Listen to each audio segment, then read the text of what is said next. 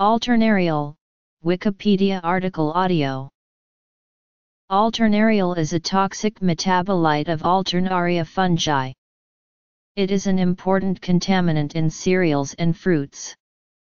Alternariol exhibits antifungal and phytotoxic activity.